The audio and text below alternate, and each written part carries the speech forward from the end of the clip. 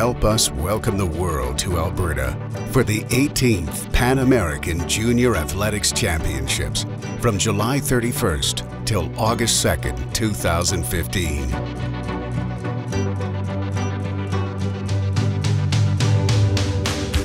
For the first time ever in Western North America, the Pan American Junior Athletics Championships will showcase the greatest athletes, ages 19 and under, many of who will represent their country at the 2016 Summer Olympics in Rio de Janeiro.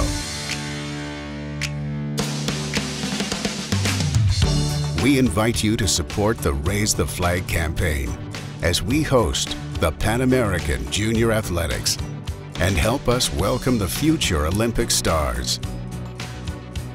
Your support and contribution will make the difference in making the Edmonton 2015 Pan American Junior Championships the best ever.